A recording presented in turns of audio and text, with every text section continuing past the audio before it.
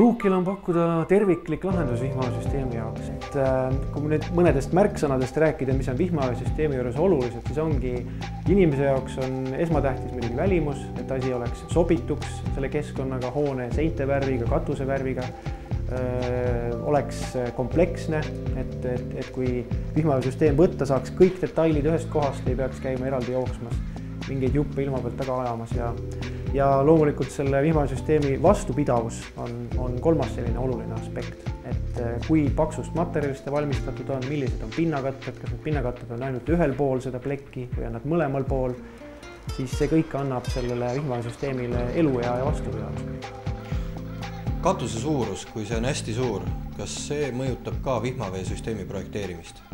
Äh, jah, vihmasüsteem ongi otseses sõltuvuses äh, katusepinna suurusest, et mida suurem on katus, seda rohkem tuleb panna vihmasüsteemi äh, torusid ehk allatulekuid rennist.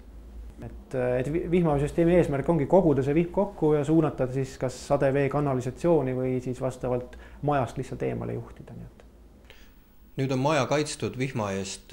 vihmavesi on korralikult ära juhitud. kuidas maja ja katust veel kaitsta saab?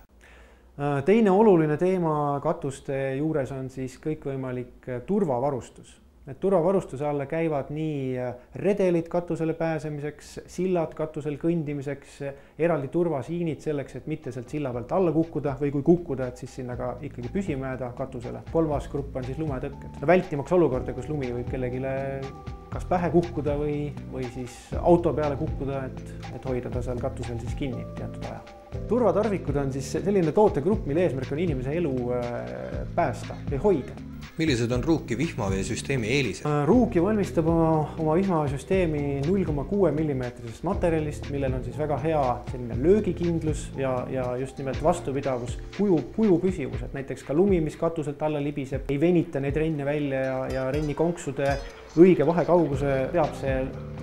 vihmasüsteem ilusti need koormused vastu ja lisaks on Ruukil kasutusel siis eritooraine vihmasüsteemi valmistamiseks, mis on spetsiaalsest terasemargist, mis lubab selliseid järsemaid äh, painutamisi ja, ja pöördeid selle terasega, mis ei riku pinnakatet ja ja see pinnakate on ka kahepoolne, nii sees kui väljas on täpselt sama kvaliteediga polüuretaanpinnakate nii et äh, kui valmistada vihmaöösüsteem näiteks samast plekist, millest me teeme oma katuseprofiile, siis, äh, siis jääb see taustavärv, mis on katuseplekil muidu allpool, jääb rennis pealtpoolt paistma ja, ja üsna kiiresti hävib UV käes, nii et see, sellise renni vastupidavus on oluliselt väiksem kui kahepoolse pinna